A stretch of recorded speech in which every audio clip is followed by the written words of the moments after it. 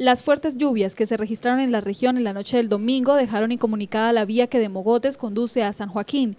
El deslizamiento que se presentó exactamente en el kilómetro 57 fue atendido por el personal de la Policía Nacional, funcionarios del municipio y la comunidad, quienes auxiliaron a un trabajador de la Corporación Autónoma Regional de Santander, el cual había quedado enterrado al tratar de cruzar por el derrumbe.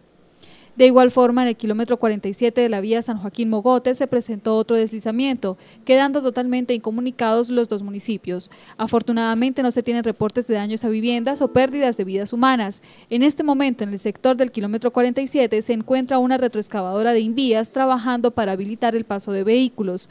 Se tiene información que la vía estaría deshabilitada en uno o dos días de acuerdo a los trabajos que se realicen.